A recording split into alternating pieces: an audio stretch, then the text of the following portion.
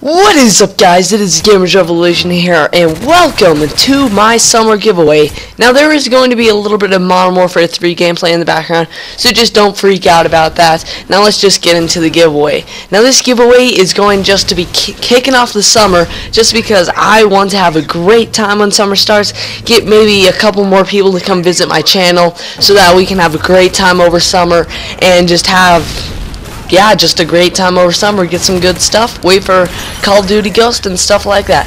Now, the rules are very simple to how you can enter this. They are exact same as the last one. Pretty much all you have to do is you have to subscribe to me and then leave me a comment of 1 through 100 down in the comment section below and the console that you are on so I can, if you win, you can either get a $20 PSN or the 1600 Microsoft points.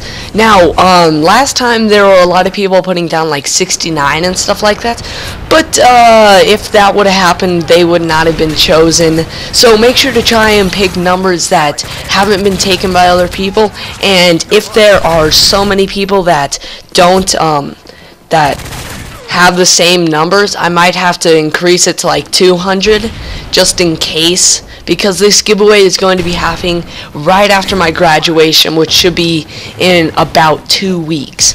So thank you guys for watching.